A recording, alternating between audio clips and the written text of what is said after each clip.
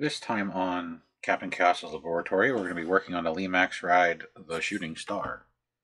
Or Ride the Shooting Star, as it says here. Uh, this was given to me to repair. Said that it doesn't function. No lights, no sound, no animation. So let's find out. I just plugged it in. Ooh, that sounds bad.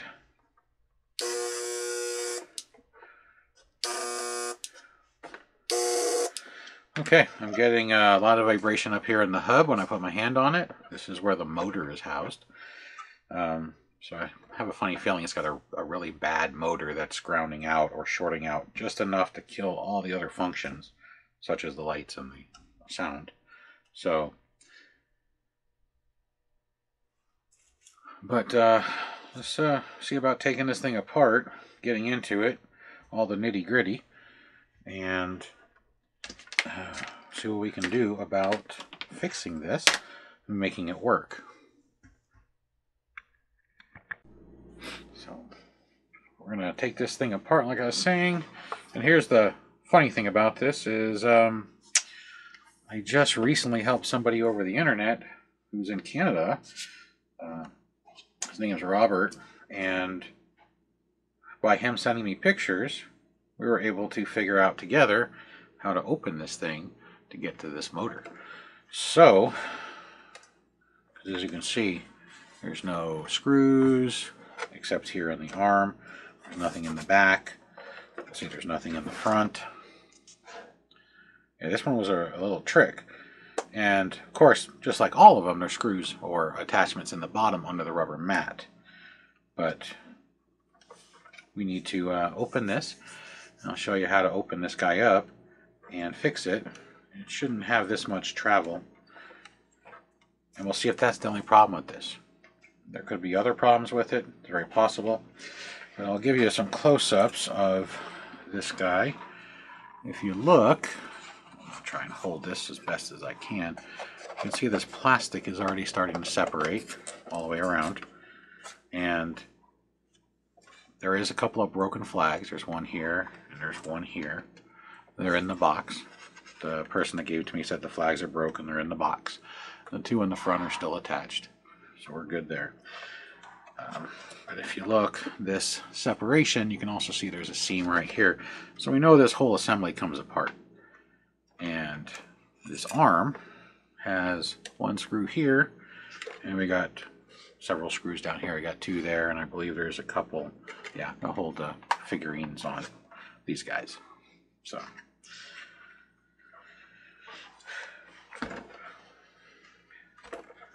So inside here, it's hard to tell, but right here in the center, there's got to be something that holds it together. And from working back and forth with uh, Robert, we are able to determine that we need to pop out this center, and there's a screw behind it, which is kind of typical that there's a screw hidden in all of these that have a central axle, whether they're a Ferris wheel or a this style ride swinging arms, even the carousels, right in the center on the top, there's a shaft with a nut. There's got to be something in the center to make the axle or the hub assembly. So instead of tearing the bottom off, I'm going to start here and see if I can access this screw. Because if we can just remove this assembly to get to this motor without going in through the bottom, that'd be great. And if we can get to this motor, then we can maybe fix it. If not, take the bottom apart. But I'm going to see if I can do a shortcut instead of disassembling it into a thousand pieces, if we can reduce the amount of time and waste of energy and just start at the top and work our way down versus most of the time where we start at the bottom and work our way up. So first thing I'm going to do is uh, grab the heat pen.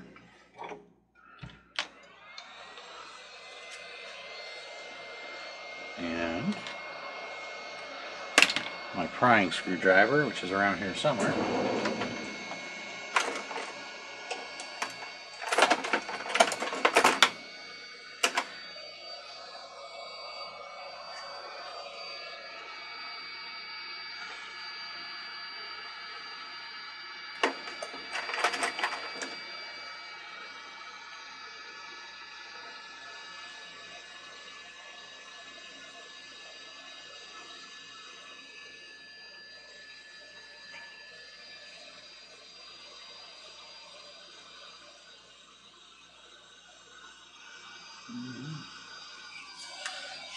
That got warm enough.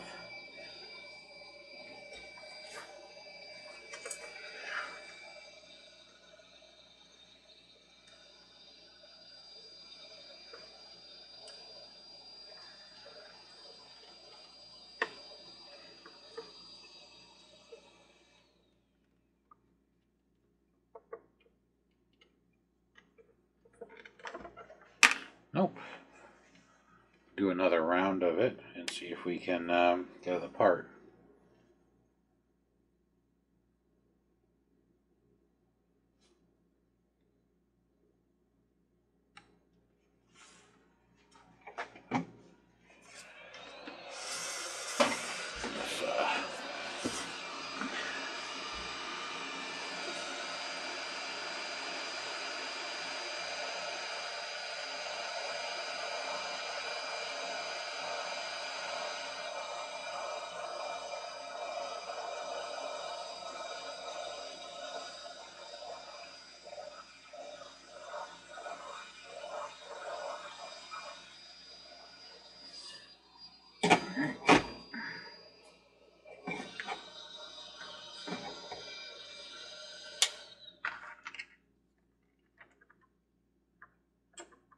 Normal prying screwdriver has gone missing, so I'm using a surrogate.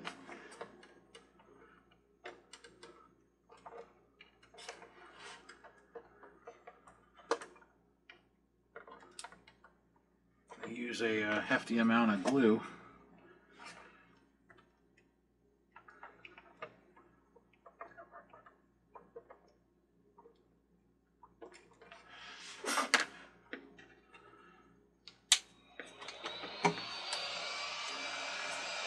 See it starting to separate, but I don't want to get it so hot it melts the plastic. Uh, watch your temperature when you do something like this. You don't want to do any uh, extra damage to your piece. Always keep your heat moving. Keep it in one spot too long, you risk melting everything.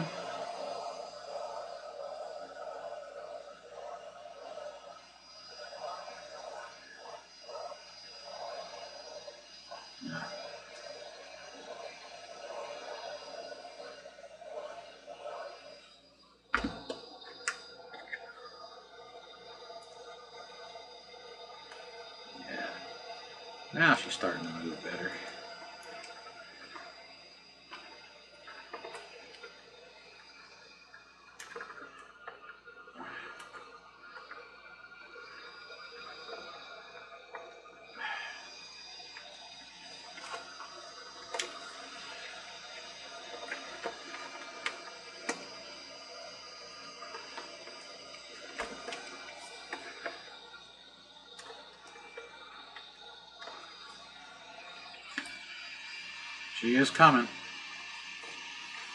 You got one side to lift.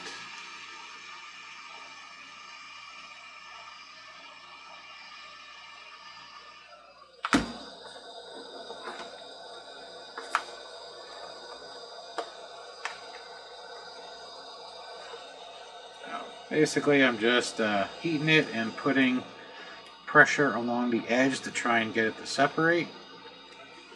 I'm kind of a little bit off the edge here. I need to see.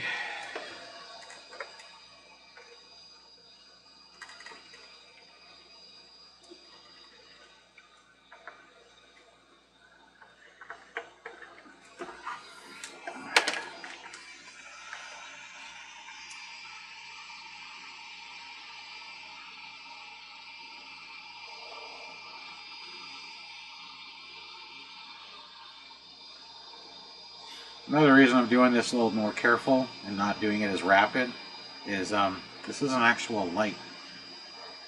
So we're ungluing the housing that holds the light and I'm trying not to damage the light itself. I can see the LED clusters through the lens.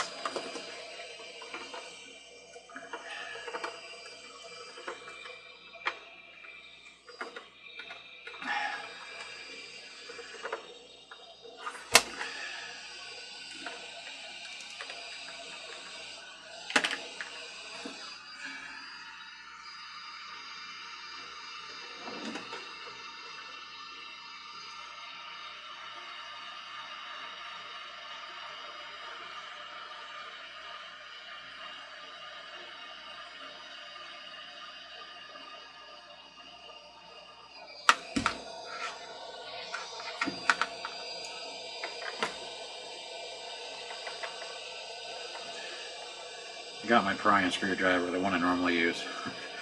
Looking down and I saw it.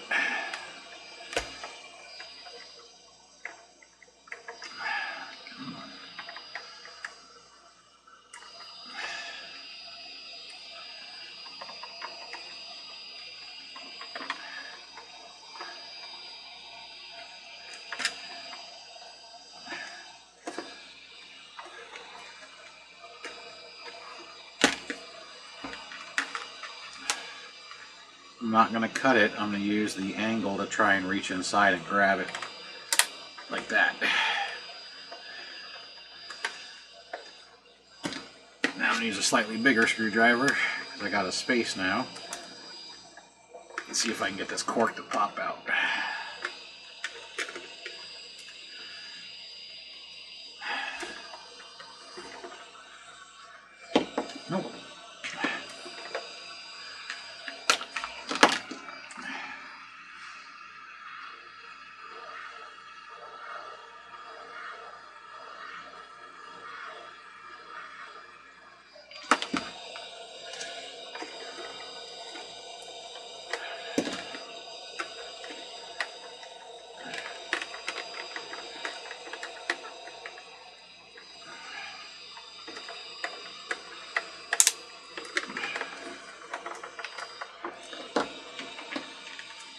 Almost out. It's out.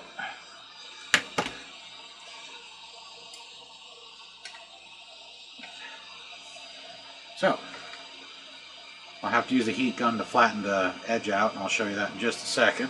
Let me put this guy away.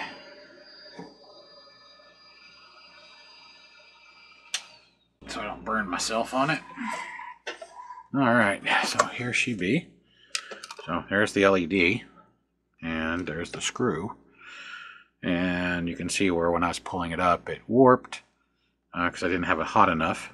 So I'm going to heat the lens when we're done and flatten this back out. You don't want it so hot you distort it, but then again, you don't want it not hot enough that it doesn't come out. It's kind of a, a sticky trade of area. Uh, you have limited on your temperature range too high or too low, you're gonna you're gonna screw it up. But a little damage that's repairable is okay because it's better than having a non-functioning unit. All right, so this is the back of the assembly. See, this is a lot easier than taking all the screws out. And without Robert and uh, sending me all the pictures and we working it out, we're working it out together, this would have been a much more difficult process. This is a rotor assembly uh, similar to what you see on the uh, carousels. Uh, inner and outer track, one's positive, one's negative. Makes all these lights light up right in here. And uh, the contacts, I'll set this out of the way so it doesn't get more damaged or broken. The contacts are right here. You can see where they're at. They're four little fingers. And if you look, there's an itty bitty screw right here. So Let's take this screw out.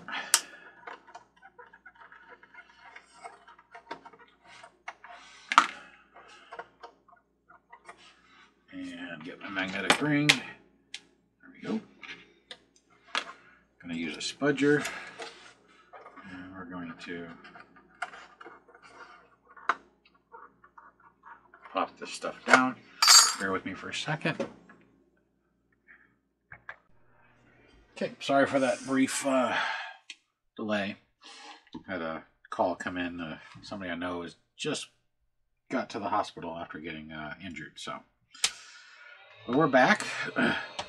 um, heating up my uh, heat pen, or turning it back on. Should turn off in a second. But uh, this piece flexes out. But it won't come out because down inside are four standoffs with four screws behind these four stars are going to be screw heads. So we need to heat them up and pop them off. Or possibly heat them up and pop them off. Depending on the type of glue, they might pop off easy. So I'm just going to pry on one just for a second and see if it separates. Use a spudger.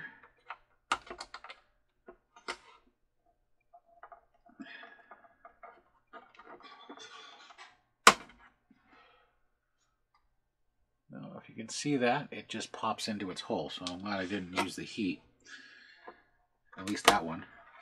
Yep, they're just literally popped in. So you just need something small enough to get behind them. Uh, this one just popped out and I accidentally pushed it back in. That wasn't uh, terribly smart.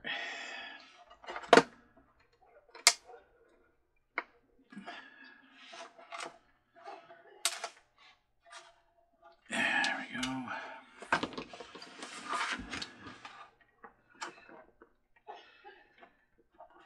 So you need something really thin to get underneath the edge. So a small, small electronic screwdriver, spudger. I think this one's actually been glued in. There's actually some glue right here.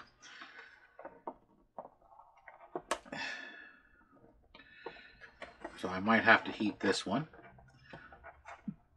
And this one was sticking up. There we go. I got it out. Let's see if I get this one to, there we go, separate. Yeah, that one actually had glue on it. I think they both did, but this one had a lot. You can see it right there. So down inside we got some Phillips screws.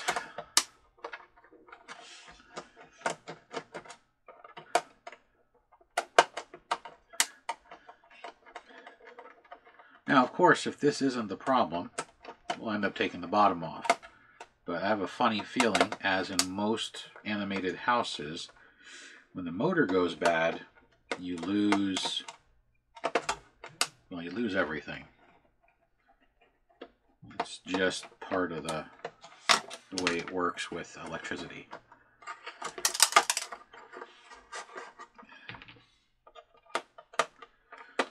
That one's not out all the way. There we go. So,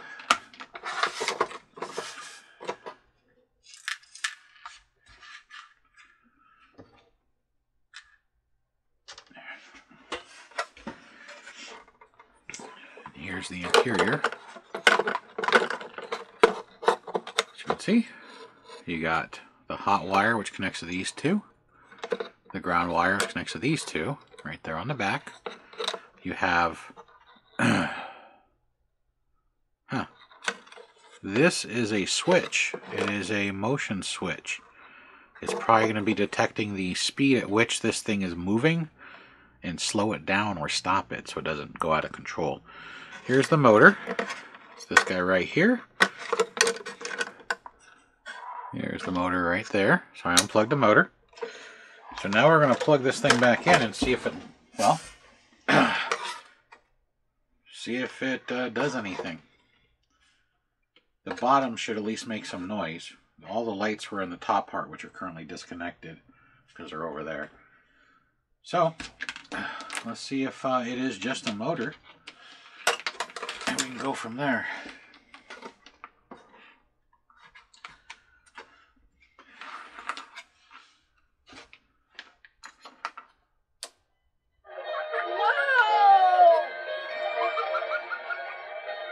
We have noise. So, now let's do this.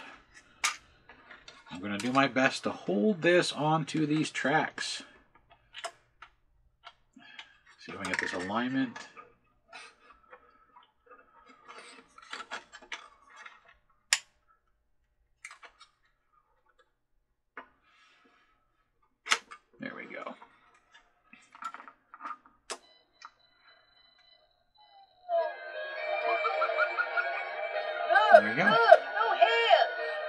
This off, make it a little easier to see. See all the lights. So this is a bad motor. Um, the Center. So, and this is one that resets. Now here's the problem. There's no motor to reset this. The motor's unplugged. So even though the switch is off, it's going to continue to try and run because this is one of the ones you cannot unplug for risk of damage to the unit because it has to reset this into the bottom position. So this is at the bottom, the most weight. So it's never going to reset because there's no motor. So let's just kill the power. And slide this hub back out. There we go. And get it out of the way.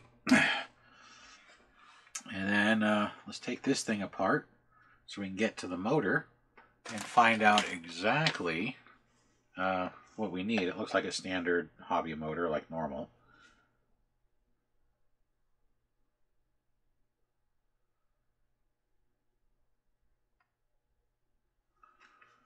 So let's turn the light back on. So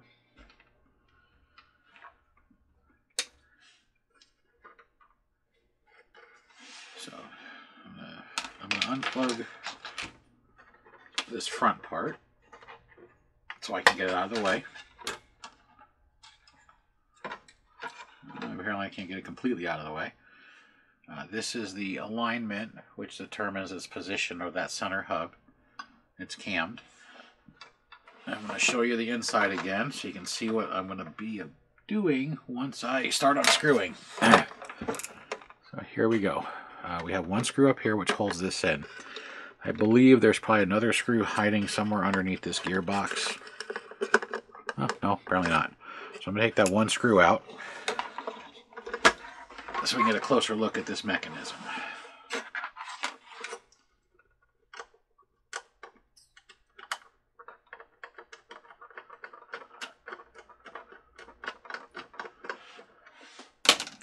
Have two screws in here because the amount of centrifugal weight.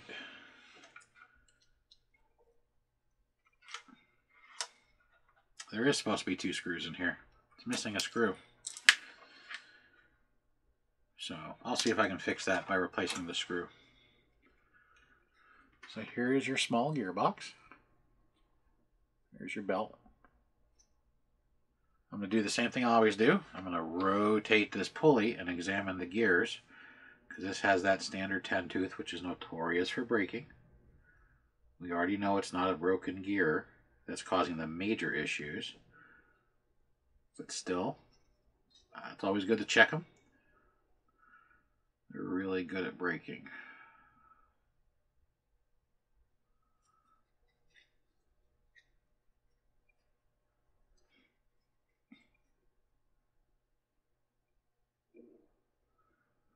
Just have to spin it a lot because, of course, the last gear spins really slow.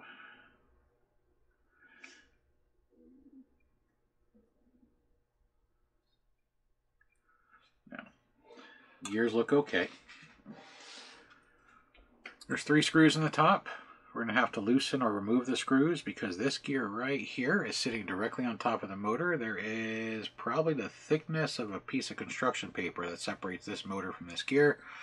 Once we unscrew these two screws, there's not going to be enough room to pull this out without bending or cracking this other gear.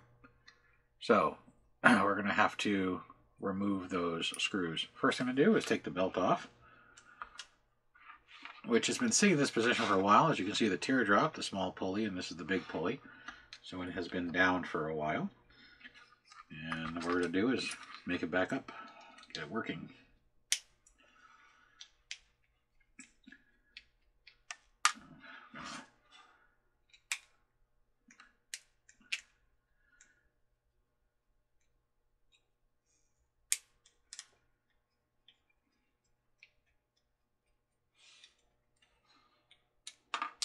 Taking two of them out for the moment. I want to unscrew the two motor screws so I can have the motor prepped to fall out.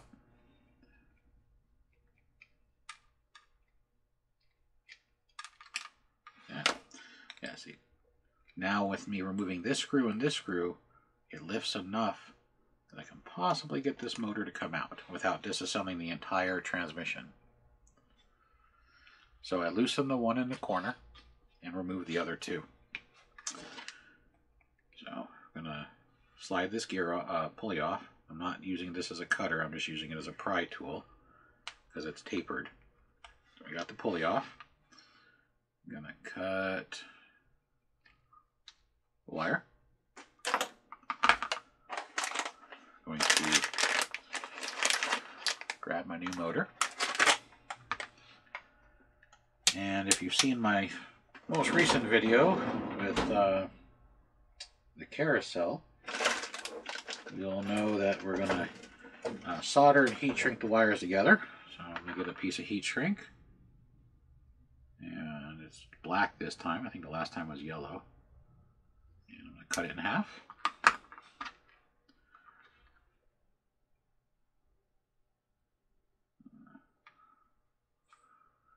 Slide it onto the wires.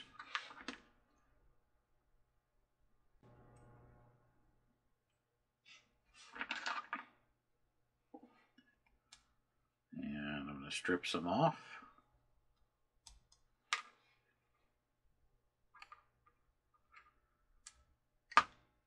You'll also know from my previous videos I like to have a little extra wire. Uh, that way, in case you screw up, you didn't cut it short to begin with. So if you did this and broke it with this extra long, you can cut it back and do it again. You can also just wrap the wire inside here or uh, wrap it around the pins where it screws in. You can tape it, hot glue it. But sometimes when you buy these motors, instead of them having a, what is this, a five and a half inch long pigtail, sometimes they only come with like a two inch pigtail. And if you cut this wire too short, you might have to extend it which is why I usually cut them close to the motor, so I have extra. Because if you use your stuff all the time, you will eventually have failures. Uh, and it doesn't mean that the part you bought's a failure, it just means that things fail, things break, it happens. Nothing we can do about it. Now, if you don't have a soldering gun but you have heat shrink, you can always twist the wires together I don't recommend this as much because solder is a great bond. But you can take the two wires, put them side by side, twist them. So. They're nice and twisted, and then you can fold it over. So it's flat against the wire going away from the heat shrink, and you can slide the heat shrink over and heat it, and it will hold that wire together right there. But I prefer soldering it because solder gives you a better joint so it's less likely to arc or corrode. And also if the heat shrink fails, the wires won't come off. So I'm just going to put a little bit of solder on these guys to bond them.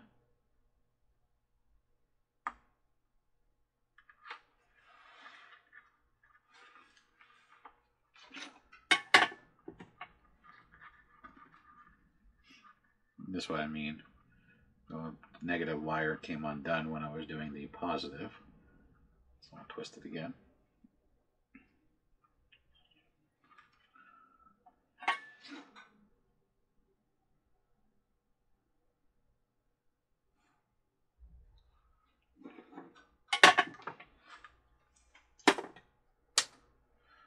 Turn off the soldering iron.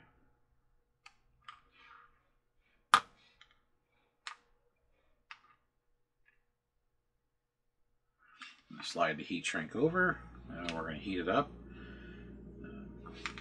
Instead of turning on the air gun and getting it all loud in here, just quickly use a lighter. And just do it long enough that it melts the heat shrink and not damages anything else. Now, reassemble.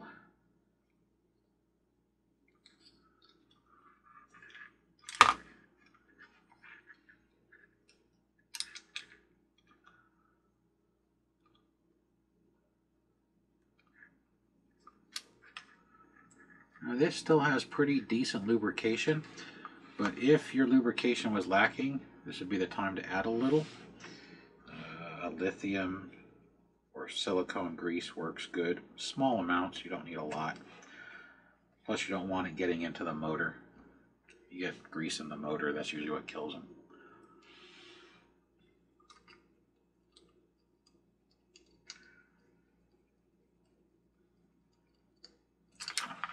There's the gearbox back together. It'll hold the motor in. And then we can line up the screw holes for the motor right there. Careful with these screws. I say it every time. They're a pain to replace if you lose them.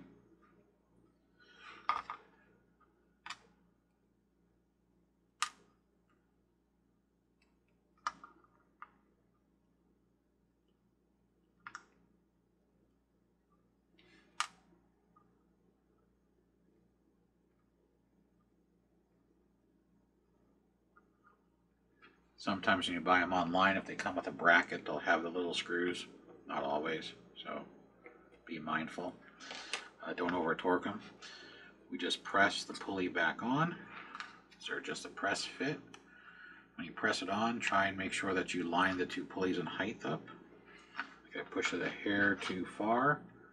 So I'm just gonna pry it up a little bit to give me the straightest alignment.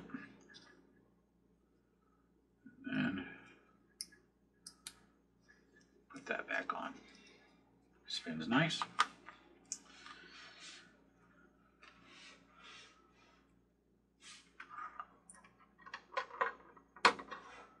Plug it back into the circuit board. And let's make sure it actually spins under its own power.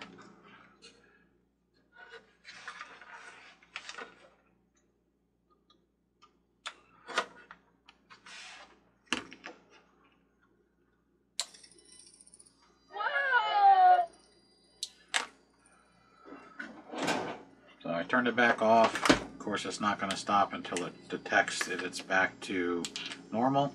That's actually a magnetic reed switch in there. But you can see if I just touch right here, you can see the whole wheel turns green. So it's still spinning. We're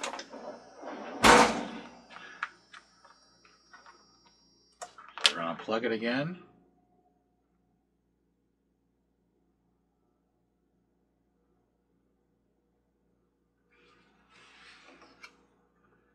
And now we're going to reassemble. So. And I'm going to try and find a little hobby screw here that will uh, replace the one that's missing in just a second. Let me get this guy in first.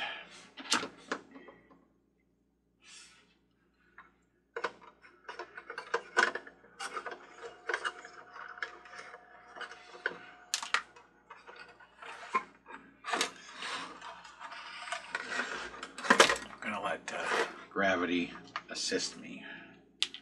Instead of trying to hold the gearbox in place, I'm going to let gravity help.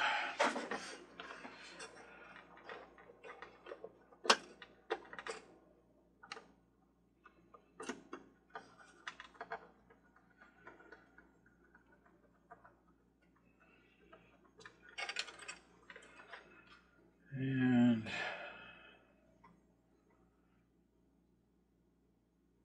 that screw's no good.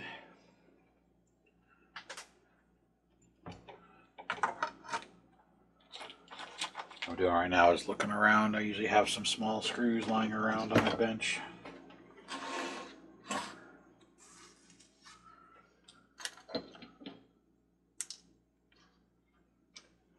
That's way too small.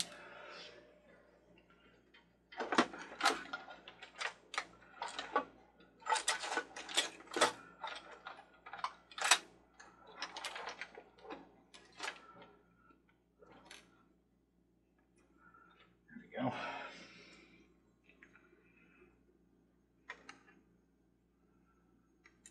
Small screw, but it's non-magnetic, so I'm gonna have to hold it with my fingers.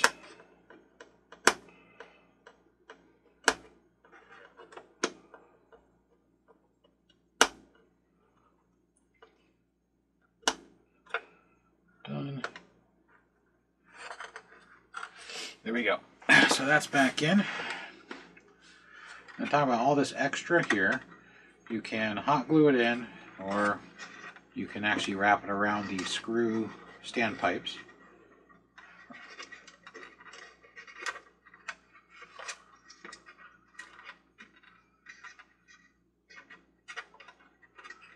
Can use hot glue, rubber contact cement, uh, tape. Use a whole bunch of things to help hold this down inside, like so. So you can see it's no longer a big mess. Plug in this one.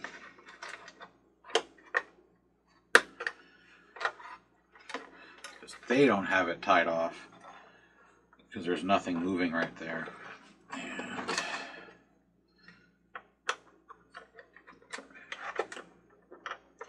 It is nice if you notice this right here is a bearing. It's a sealed bearing. It helps with the spinning motion and the stress on the shaft. It's a nice touch. A lot of times you just see a bushing, and bushings wear out faster than bearings. So that's back together. Let's uh, get some screws in this thing now.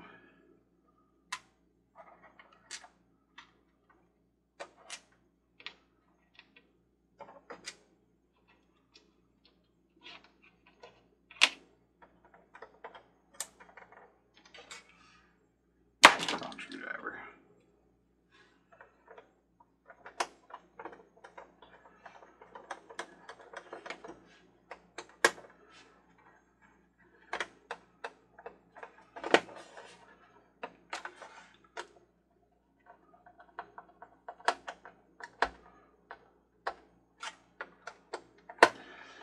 When we put the stars back on, if they're a little loose, or you think they're afraid they're going to pop out, um, you can put a dab of glue on them. I wouldn't recommend anything like super glue, like they had on these. Um, I'd recommend a hot glue or rubber contact cement, something that allows you to access the thing when you need to fix it in the future. Uh, or let me rephrase that, if you need to fix it again in the future.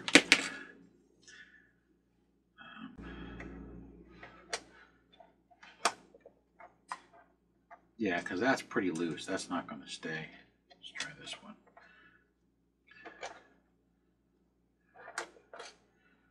Yeah, they're all super loose, so I'm going to have to put a dab of glue on each one.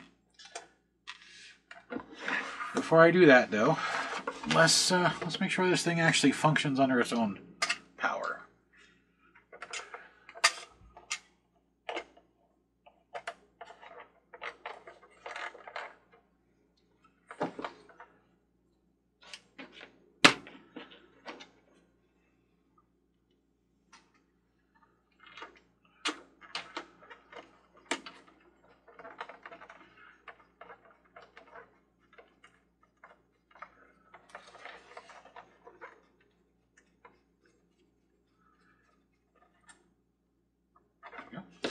It's a lot of threads on that little guy.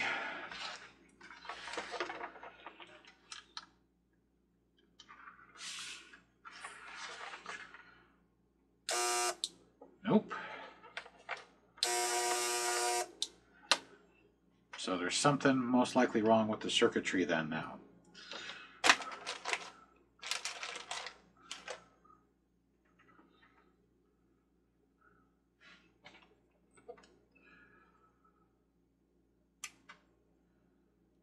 So here's the motor I cut off.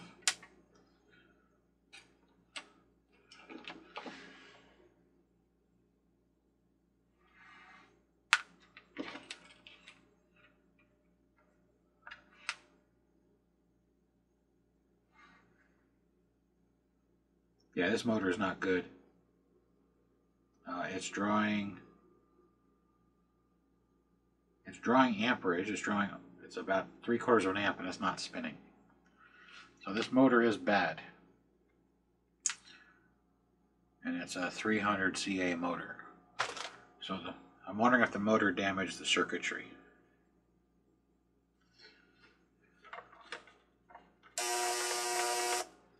That's why I didn't want to put everything completely back together, just in case. So, so if yours does have a bad motor, at least you know a faster way to get to it.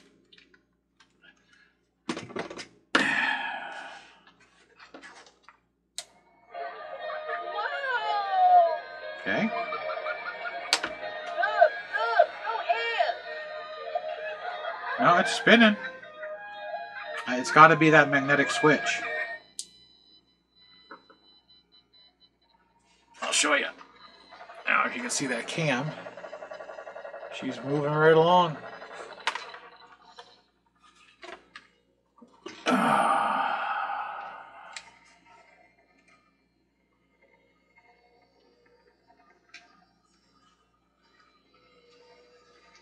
Those gears are moving freely. Look in there, you should be able to see the teeth moving.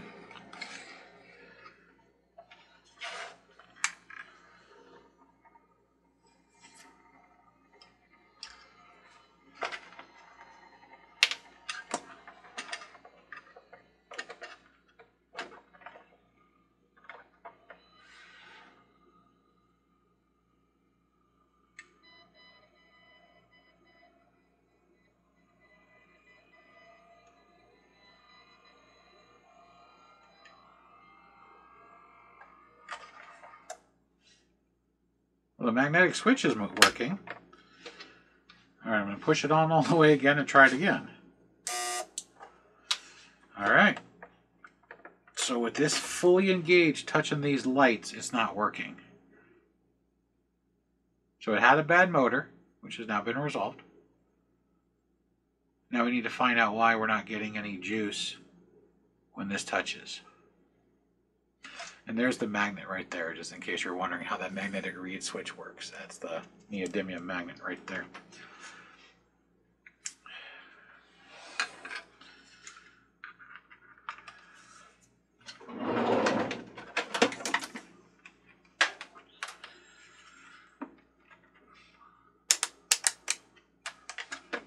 So what I'm going to do is just test continuity.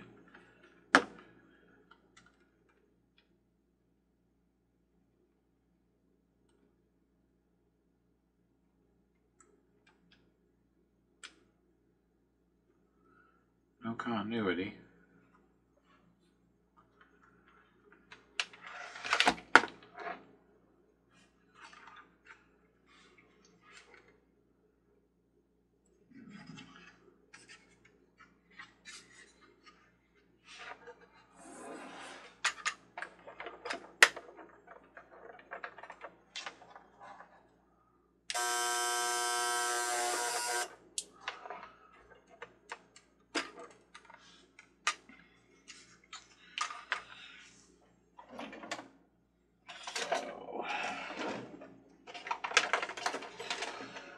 Definitely have a small issue. Now we just have to troubleshoot.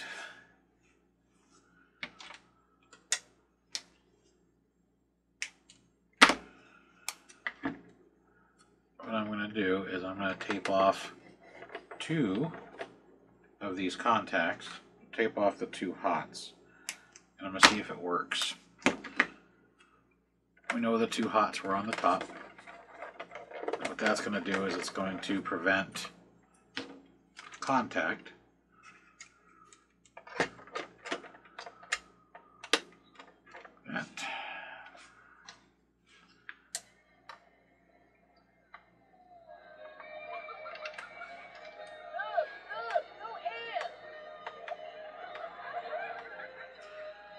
So the problem is getting power to these lights.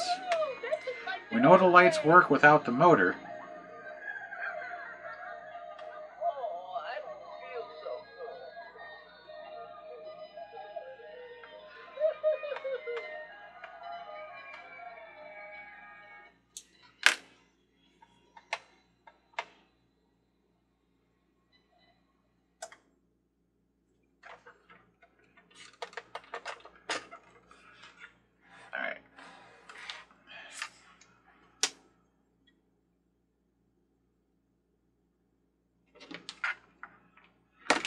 How much power these lights are drawing. Ooh, they're drawing a lot of power. And they're not turning on. So this inner track is negative, which we know from that. And this outer track is positive. I'm doing 2 volts, and at 2 volts it's pulling almost 1 amp. That's a lot of power for LEDs. I'll bump it up to 3 volts. The meter saying that it's overdrawing. So there's a problem with these LEDs as well. So let's uh, let's open this thing up. It's a couple of screws. There, there, there, there, there. Let's open this up and see if uh, I don't see any damage to the LED here when I took it out. And we know it lit up when it was not under a load. So this thing maybe had multiple issues, which because this shares the same part as the motor, there's a good chance that um, this was going out and drawing too much power through that distribution block and it actually damaged the motor. That motor's bad. It was drawing almost a amp by itself without turning. So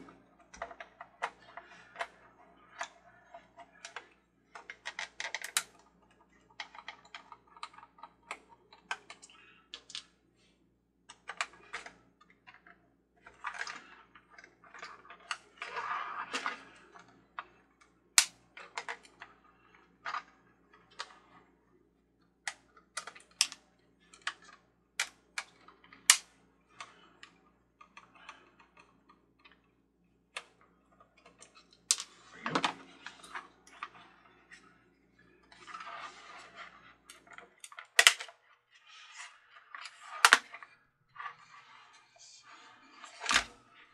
And there's our big circuit boards. And this circuit board is plastic staked on, which is just a transfer board. Transfers the power from uh,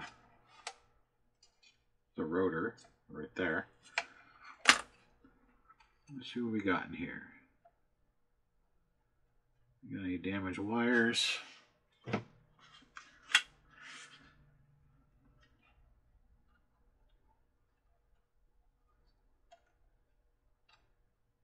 See where wires were rubbing the center section, but there's no apparent damage.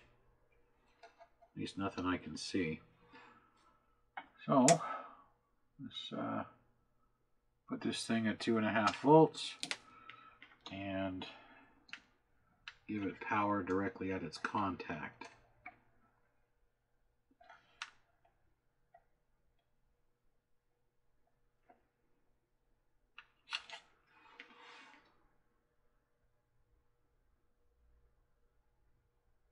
And nothing, nothing lighting up. There we go.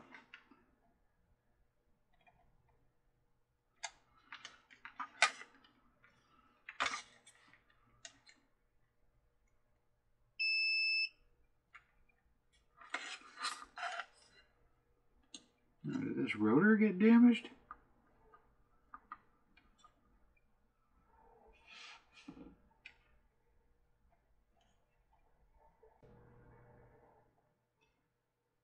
I have lights right now. So these two wires right here, which come from up there, is where my problem's at.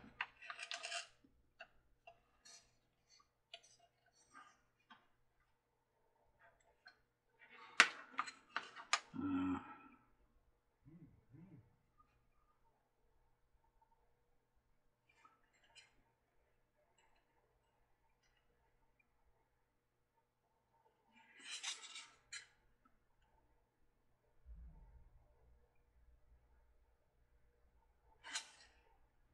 where, oh, where is the damage?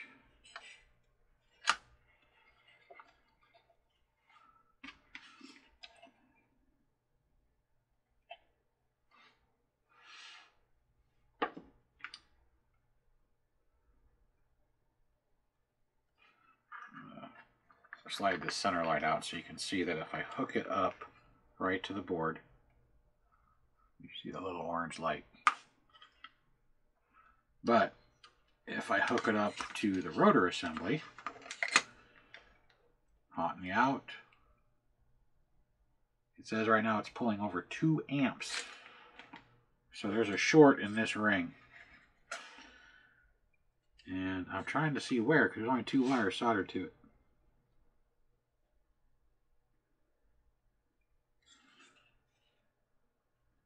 I'd hate to have to break the ring off.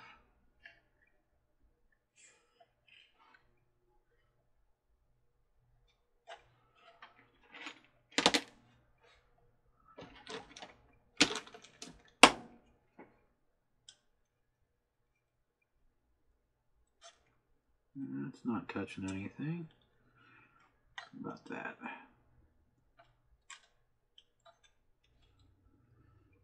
Two wires are soldered inside of this hole. And what I'm doing is I'm moving them around to make sure they're not touching anything uh, that can cause a problem.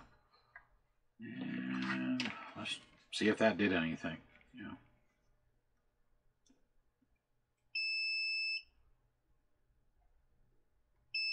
No, still overpowered.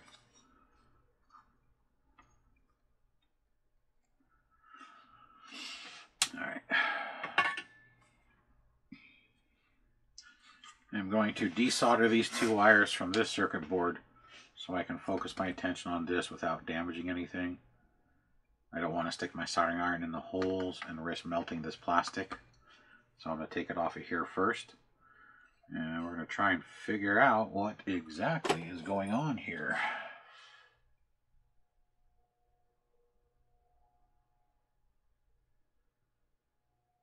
This was supposed to be nice and easy, just a motor. I'm just going to wet the tip of the soldering iron so it's not dry. And then uh, try and heat up the solder joint.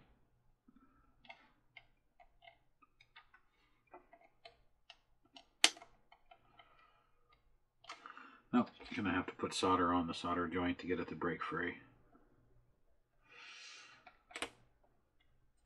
Like that. And then this guy right here. You come apart. No. A lot of times in old solder, you have to put fresh solder on top of it to get it to separate, which is what I'm having to do here. It does not want to separate.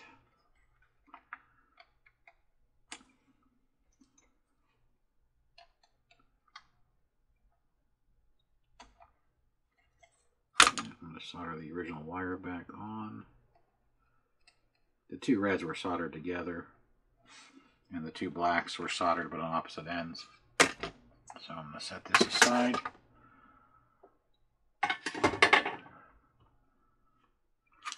Now, if the two wires unhooked, if I apply power, there's no load, the meter should show zero or no voltage going through it.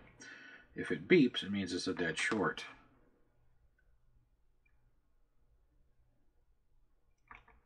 Yeah, there's no continuity. So I'm wondering if now it's the solder joint.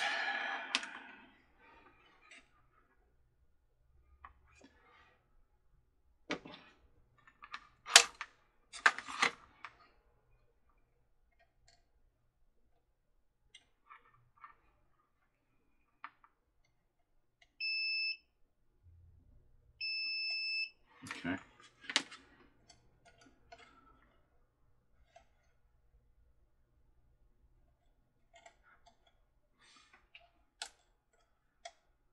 So it is the solder joint.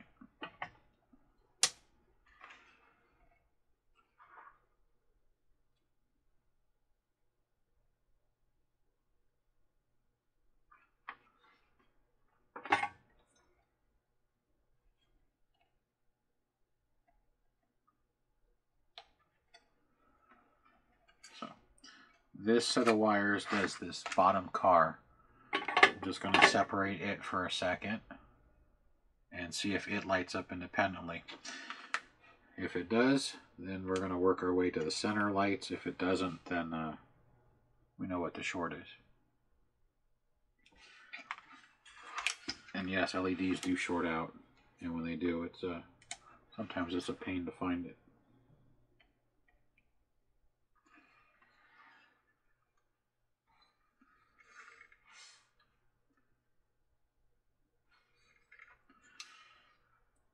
I'm only getting the arc. These aren't lighting up. This, this LED strip could be the short right here. So now what I'm going to do is I'm going to test the rest of it. I'm going to test the arm itself. It's just really hard because it's just a solder ball I'm connecting to. And all the lights are working. So the process of elimination, my issue is in the car.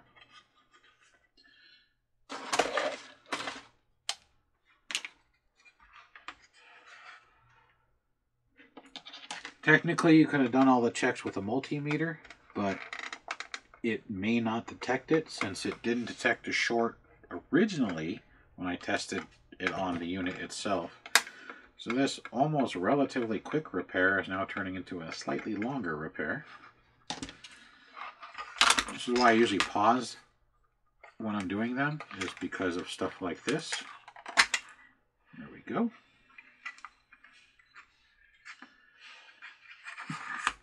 All right.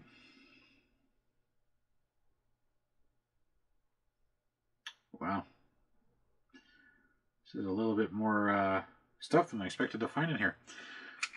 So we have four contacts, two grounds, two hots, or two negatives, two hots, that when the car rotates, it's basically acting as another rotor. What is it swiping? It is swiping on these solder contacts right here. And these solder contacts go to this light strip, which is also attached to a small chip with a diode and a capacitor. It's probably the flash sequence for that bottom set, which technically we're working earlier. But I think they were probably on their way and it was just a movement that caused them to fail. So I'm going to uh, see if I can get them to light up. You know what? I'll just hook it up here and up here. That way I don't have to fight with it. And the strip still isn't lighting up. So now we're going to pull out the meter, set it on DC. I'm going to set it so I can see it as well. I don't know if you can read it, but I need to see the numbers. Right now it's just picking up ambient voltage in the air. I need to get my uh, magnifiers on so I can make sure I don't touch the wrong stuff. I'm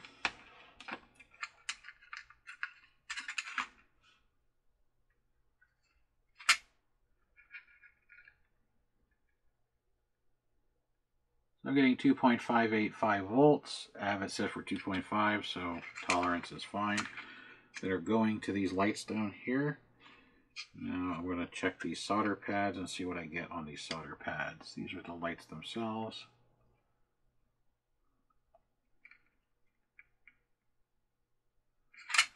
I'm getting no voltage. I'm getting voltage into the chip, but no voltage out of the chip.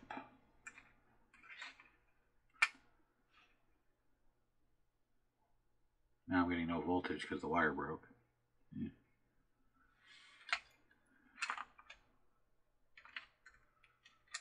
So,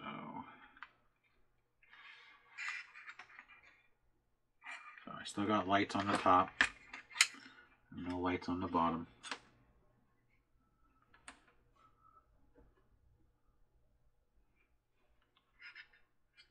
Might have lost this sequencing chip.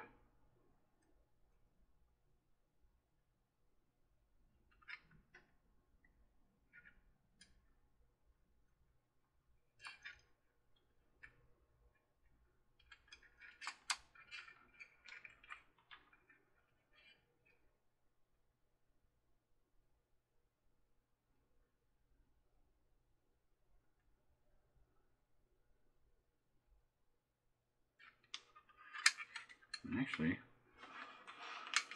could have lost the uh, small component too. So, fortunately, I can't read it. It's so small, so I'm using a magnifying glass. Still can't read it. Uh, the chip just says A8. It's probably just some generic chip, timing chip for the flashes. What I'm sure it does is every other light is soldered separately. So there's three wires. One is a common wire and the other two are switching. So it's probably every other light. So it looks like it's moving. But uh, uh, I can't, there's no power going to those pads. So I'm wondering if the chip has gone bad or one of the small, and I mean small components on this board have failed.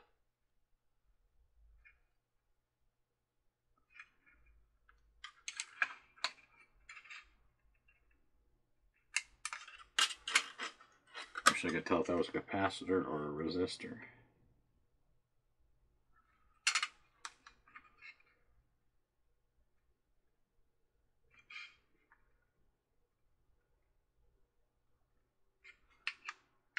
Uh, let's check capacitance on these capacitors that I can see. Capacitor.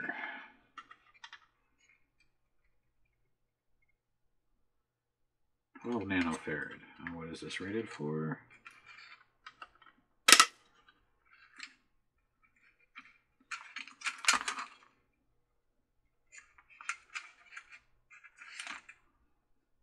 Hundred micros. That's that's fine. All right. Is this a capacitor?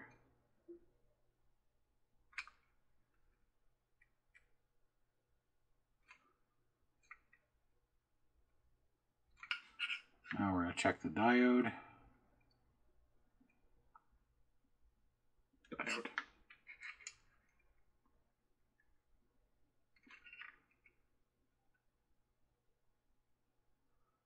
Wait, 465. So the diode's working.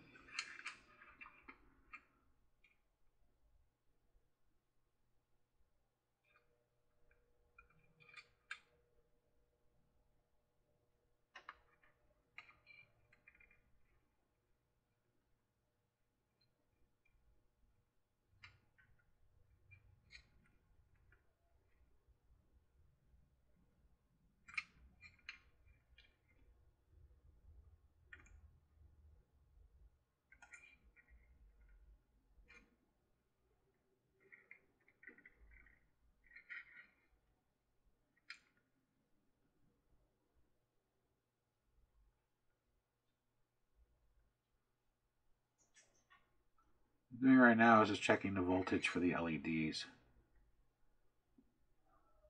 So it's over one volt.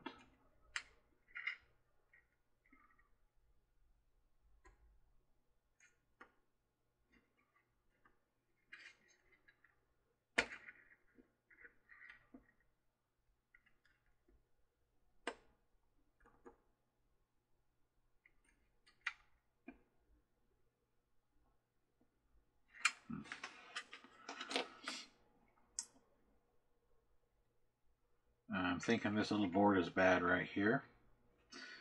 This is the part that's always the hardest when I'm working on these, like I was saying, is trying to find these electrical issues when they pop up.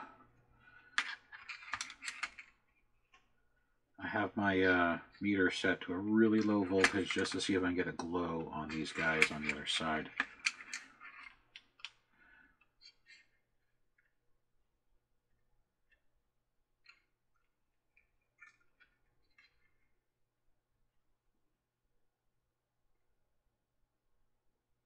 Can get I'm getting a glow.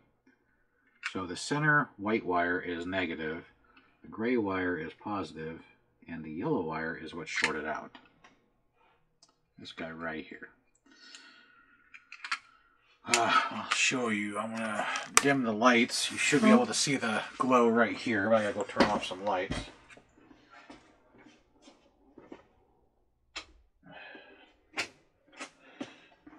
So Use enough light that I can still see what I'm doing.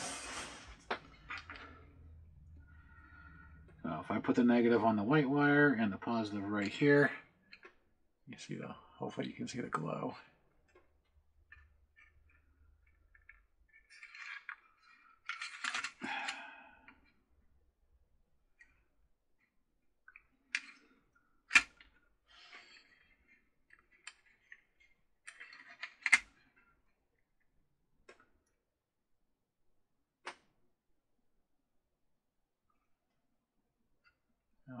See that or not.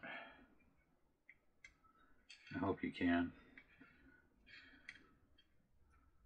But if I switched it to the other side, the yellow wire, I'm getting nothing.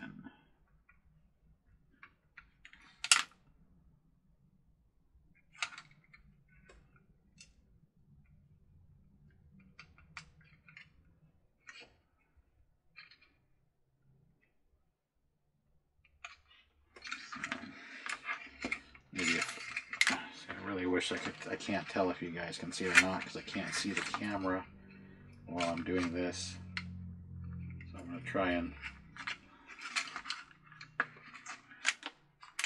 So every other light's coming on and every other light is in between isn't. So I have a bad leg on this strip.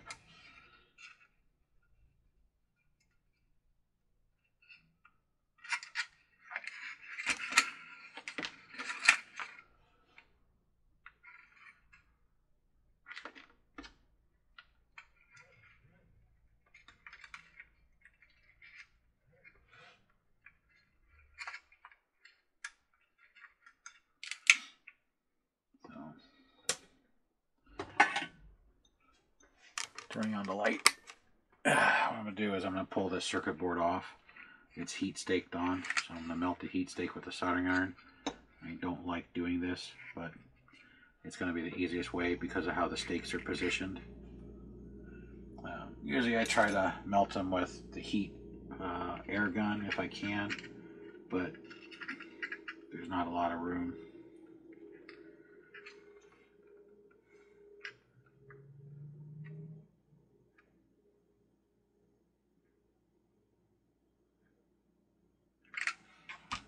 Need a slightly bigger pry tool.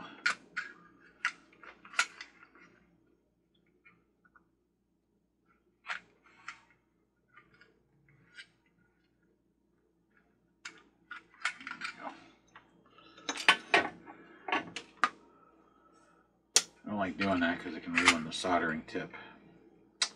Uh, this little circuit board was assembled in 2014, uh, June 10th of 2014 to be exact. So now with it out, I can get a better, show you, better look as well, at what's going on uh, inside. Maybe we can try and diagnose it if it's a bad chip or if it's a bad LED string. I'm thinking it's a bad LED string. Oops, it touched each other.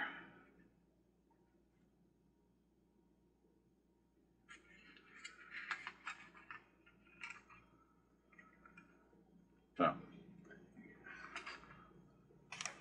you can see we got one, two blanks, one, two blanks, one, two blanks, one.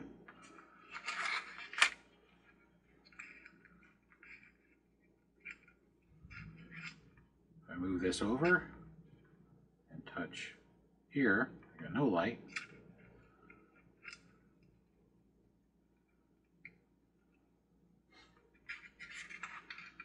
Now I got three lights.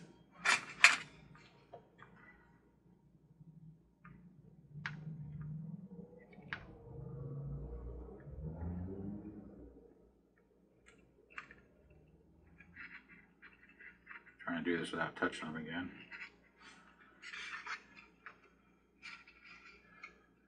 So, here we go. All right, so I see what it's doing now. Uh, each one of these can be negative or positive, and then it changes which lights. But the one that's only got three, I believe, is supposed to have four. Let's double check that one again real fast.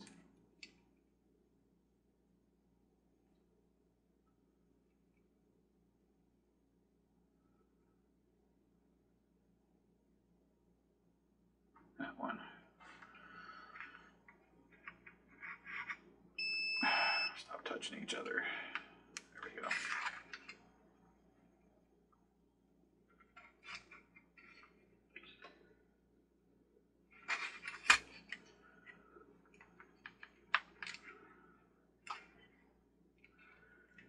So I think we got a bad chip.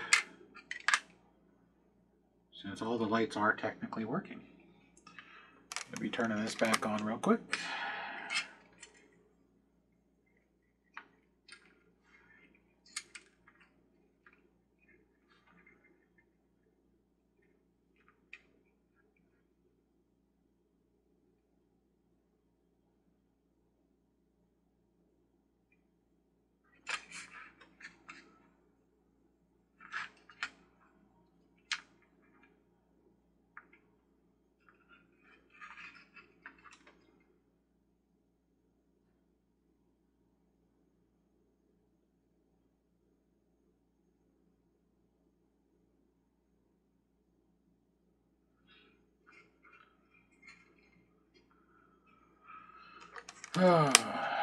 so that light's not working.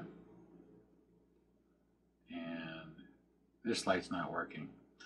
That is the reason why I believe it's shorting out, is we have some bad LEDs on this strip. We have two. And it's it's not drawing a whole bunch of power, but I do have it slightly overpowered. I'm running it at 5 volts because at 4.5 volts,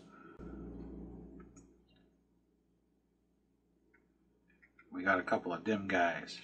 You may not look dim on the camera, but like that one's really dim, and that one's dim. So, I believe we're having a. Uh, the tape is starting to fail. The LED tape. And that's not easily found or replaced. You can find LED tape in different sizes and styles, but to find this exact one that has three wire that reverses polarity or allows polarity to be reversed is going to be slightly difficult.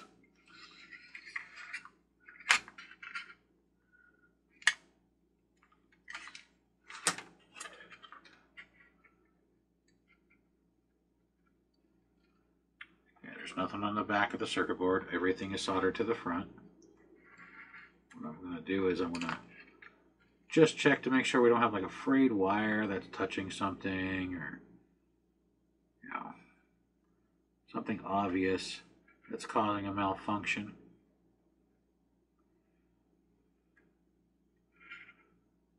She looks decent.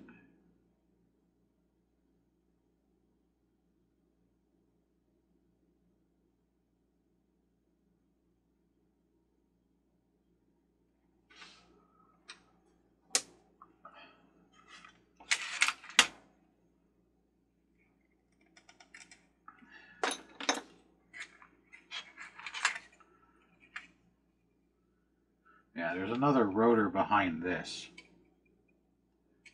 These are the rotor feet to match those feet there.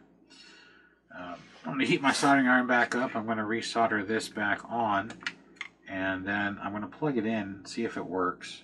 If it doesn't work, or I'm not going to plug it in, I'm going to send power to it. Uh, then I might take this rotor assembly apart. So I'm wondering with those two lights completely burned out now, if it will actually at least run on the remainder lights.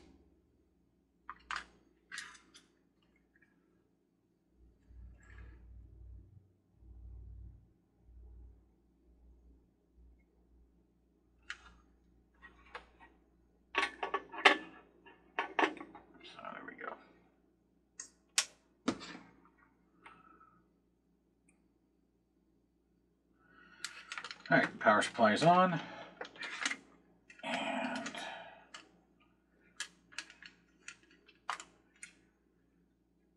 hot and not.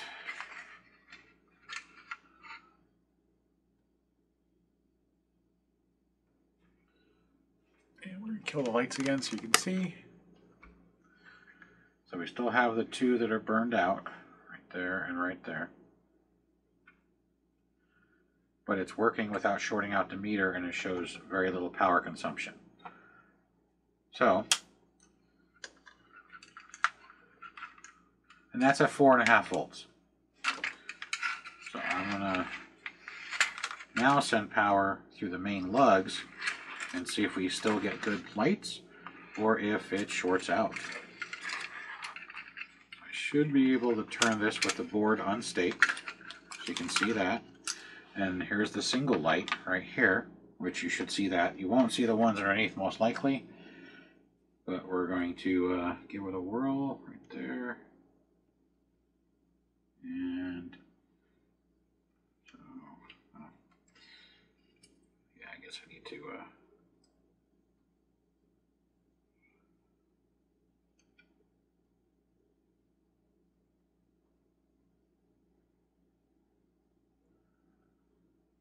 Everything's working at the moment. It's drawing 400 milliamps at 4.6 volts, which is within tolerance uh, for the AC adapter. Let's turn this off and get it out of the way.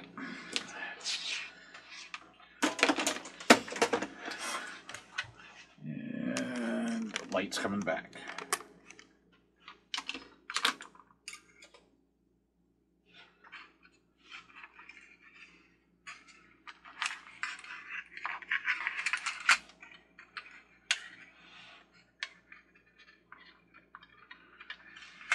Not going to be able to heat stake this back on because I think the stakes broke too much. I'm going to try. If not, that's what they make glue for. I just I just got to, yeah, there's not enough of the pin sticking up for me to restake. Oh, wait, there might be.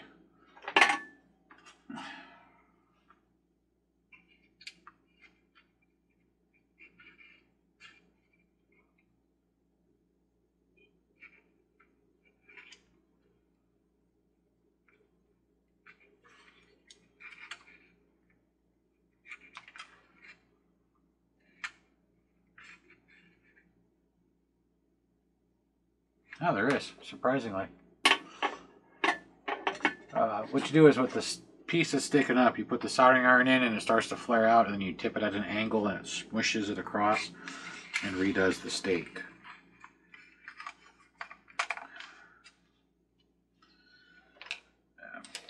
Um, problem with heat staking is, is uh, usually once you unstake something, it doesn't always go back together.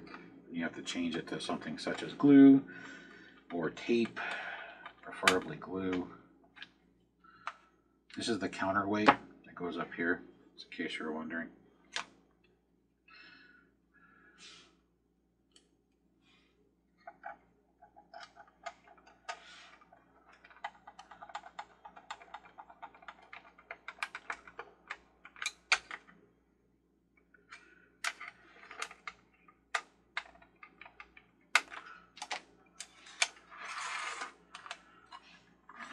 Remove the old plastic stakes.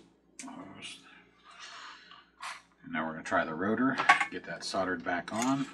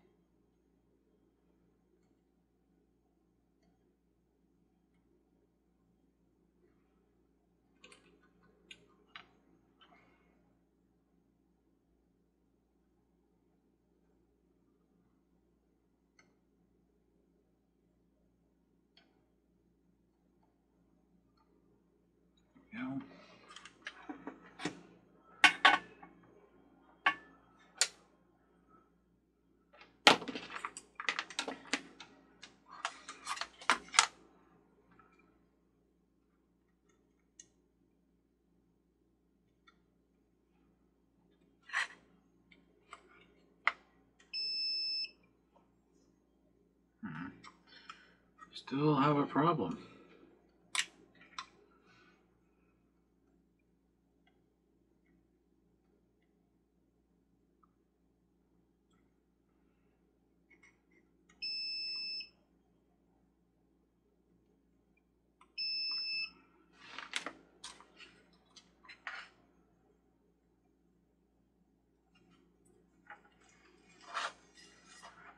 Still picking up a short in this this rotor. I don't know why. This rotor is heat staked on in four spots. The problem with heat stakes is again, if I melt these out to pop this rotor assembly out, it's not going to go back in. It's going to have to be glued.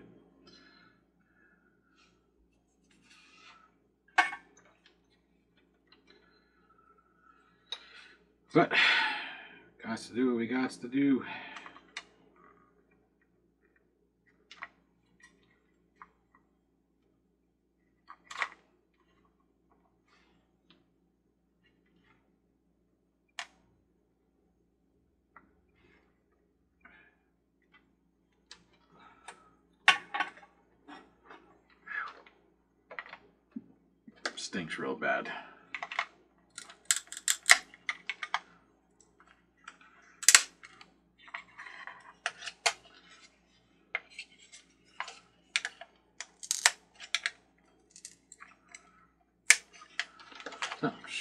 screwdriver to pry it up a little bit.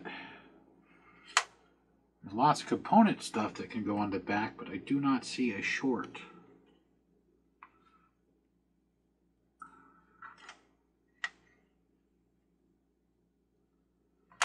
I don't see any gouges in the green material that connects any of the copper together. Well, maybe right there where they had a little bit of glue.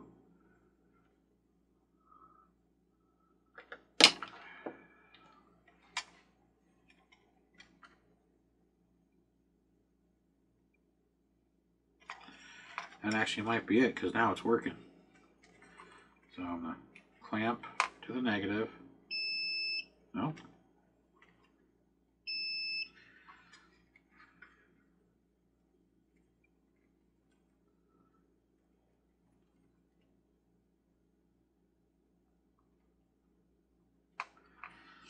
Alright, this is a weird one, but I think I figured it out. There's a little damage to the circuit board right here from where it was attached. And I'm thinking the glue is slightly conductive. Shouldn't be.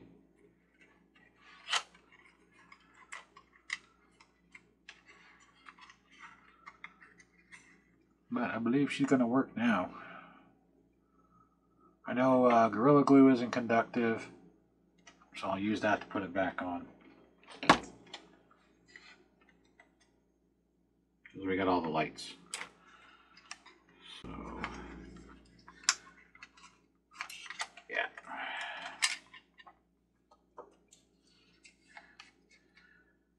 I cleaned off with my fingernail the part that was touching.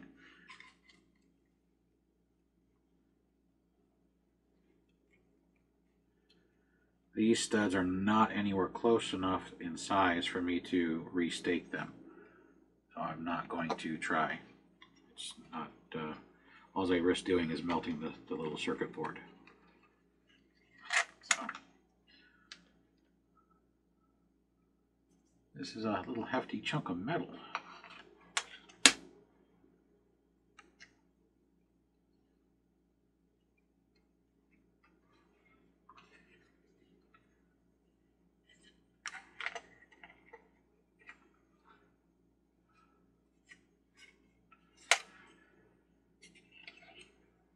Make sure when you do, if you have to take this apart to make sure one, your gears lined up uh, at the bottom, and two, and when you put the wires back in, they're not sitting over these two screw holes.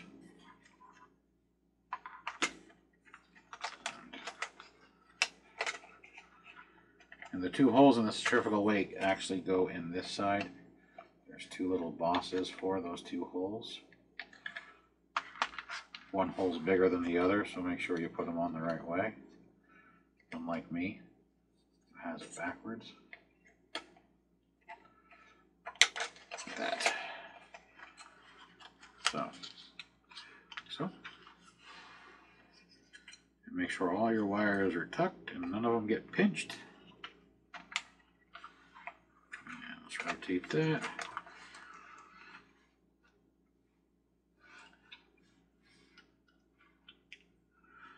So yeah, this uh, this turned to be out a little bit more difficult and a little bit longer than I expected of a video.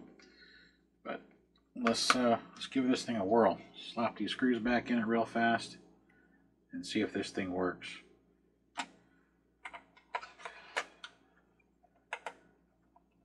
Like I said, that's normally why I pause the videos, is because when I hit stuff that's going to take a while to diagnose, it takes a long time and you probably get bored watching. Sometimes the thing that causes the problem is so minute that you may not be able to find it easy. Uh, kind of like what I had to just deal with. And to find out we got some burned out LEDs in that strip. But once they finally burned out completely with the power supply, where they weren't partially connected, uh, they started working again. I'm going to have to do some research to see if I can find this uh, three wire multi uh, flash LED strip that Lemax used back when this was made. You could probably make your own or use something similar, like a 5 volt strip, but most of them are wider than what they use in these uh, animatronic toys. Or excuse me, they're not toys. Can't call them toys. These animatronic houses or things. Alright, so let's go back to its uh, natural. Let's get the tape off.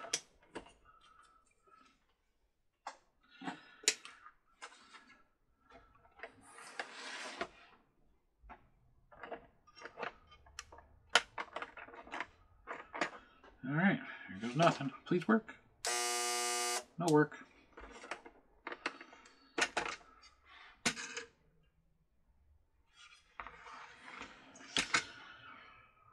All right, well, I am going to pause now because I really got to do some more work on this. I mean, this video is already pushing two hours. So I'm going to take it apart, play with it some more, see what I can figure out.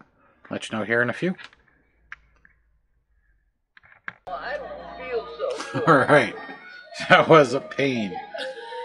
So there we go. I'll turn off this light. Yeah, I haven't put any of this together. It's just together for me to test it. Still have the two lights that are burned out. Uh, believe it or not, it was. Let me turn this off. It'll watch as I turn it off. It'll reset. So it's off. And once this comes back down to the bottom and triggers that magnet, click. So, all right. So I still got to reassemble this the correct way. Right now it's held together.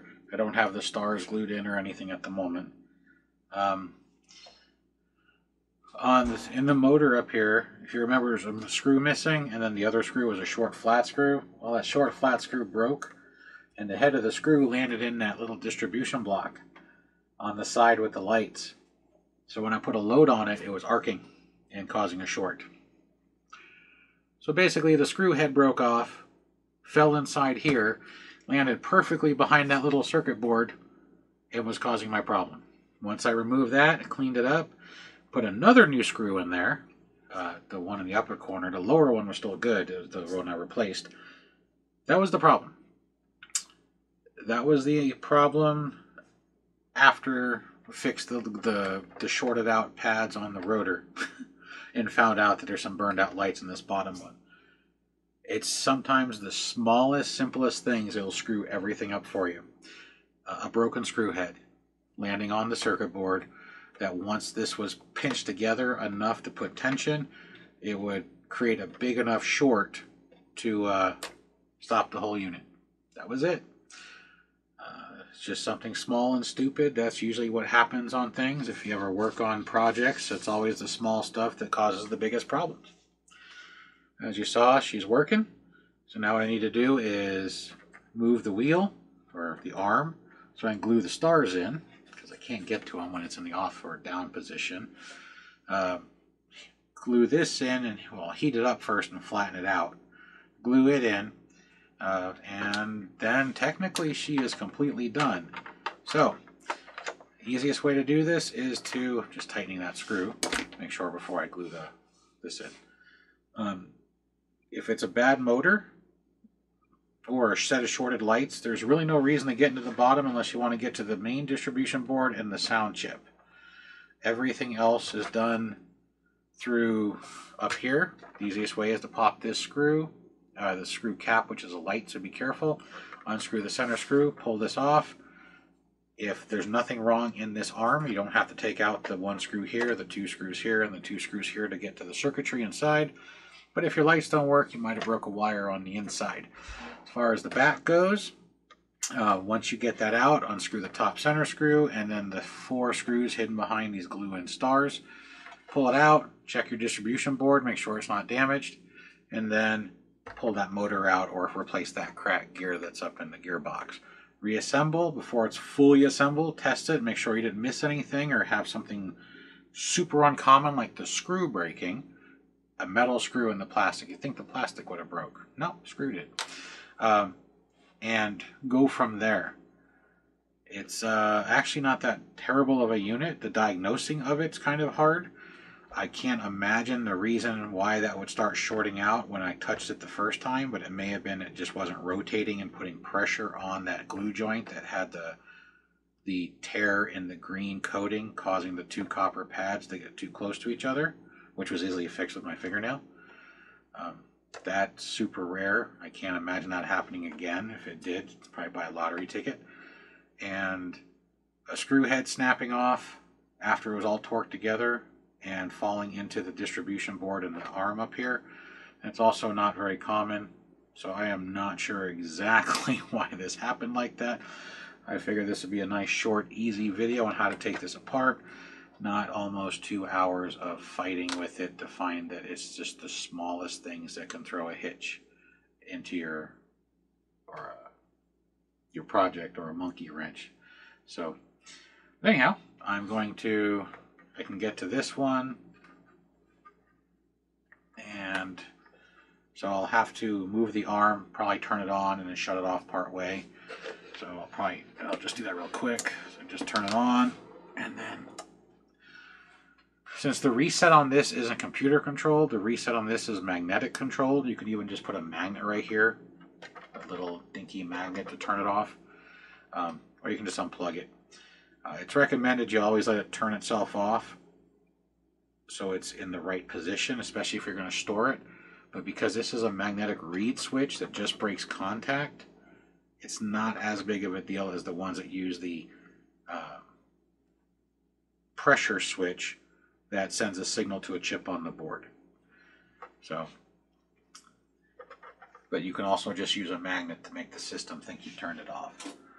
Well, and I'll show you a quick example of that. I have a, a neodymium magnet right here that is super, super strong. So I'm going to plug it back in. Try to that.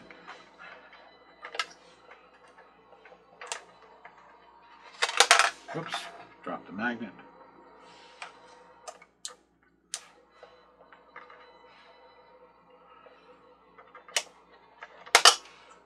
Ow. So apparently my magnet's not working like it should. There we go. So right in the center of the star with this neodymium magnet off, click. I was going too low, I was going to the bottom of the star. So if you put it right in the middle of the big star, turns right off. So if you're afraid of pulling the power on it, you can just get a magnet, something a little stronger than a refrigerator magnet, stick it right in the center of that star, trigger that magnetic switch, you're good to go. That allows you to get to the four holes if necessary, if you forgot to glue your stars on without disassembling this whole hub again. I will show it one last time, fully functional in the dark, working like it's supposed to once I flatten this out. Which to do that, I'm just going to heat it up and press it back into place. Probably be wearing gloves because it's going to be warm. And then uh, glue these stars back in with a dab of hot glue. And this will be glued in with a dab of hot glue. So that way it can be pulled apart in the future if this motor ever burns out again which because they're little cheap hobby motors, it's probably going to happen in its lifetime if it doesn't get damaged from something else. So, shall return in a little bit. Uh, sorry for the long process on this one, but this is what happens when you uh, have to diagnose things. So, be back here shortly. Okay, it's back. Oh, I feel so good. So we're good for now. It uh, functions like it's supposed to. I can't see where the arm is in relationship to other stuff, so I don't want to whack anything. I don't have it fully flat on its back. You can see all the lights are on except for the two that are burned out. The volume works. It's rotating, it's quiet. So- turn the light on. There you go. And then turn it off. Should go back down to where the magnet resets it. There we go. And give you a. There's the center star pushed back in. You can see where the paint kind of chipped a little. That's about it. If you have some uh, light blue or uh, off blue crayon or paint, you could touch it up. Unfortunately, it stuck to the edge of the light when it came up. The light is flat. It does have a little discoloration on the edge right here, but it's not that noticeable unless you're actually looking for it. So it's unfortunately not a damage-free separation, but it's close as I can get. Uh, I had my heat pen set at 125 degrees Celsius to get this pliable enough to lift. Uh, at 100 and 110, it wasn't hot enough to start separating the glue since they used um, a hard glue like Gorilla Glue and so on. But um, that's it. One of the uh, more painful ones to do because of chasing down that electrical bug that was caused by two flukes a damaged piece of glue in there and that screw in here. So, other than that, um, only time you have to open the bottom is if you're not getting power up to the top or the speaker went out, something of that nature. There's a very small board down here that just sends everything up to the top, and then the reed switch goes down to the bottom and disconnects the power at most likely a solid state relay uh, soldered to the board. So, and then when you do it, make sure you do it so this is level. Make sure you, when you put it back together that this is all one assembly and it's not kicked off at a angle or upside down or what have you when you put this back together if you take this car off. So other than that, thanks for watching. Sorry for the long video. And but you got to see how I sit here and do it when I'm fixing these or get them sent that have a problem that has to be diagnosed beyond something that's quick and easy. So, until the next one, thanks for watching.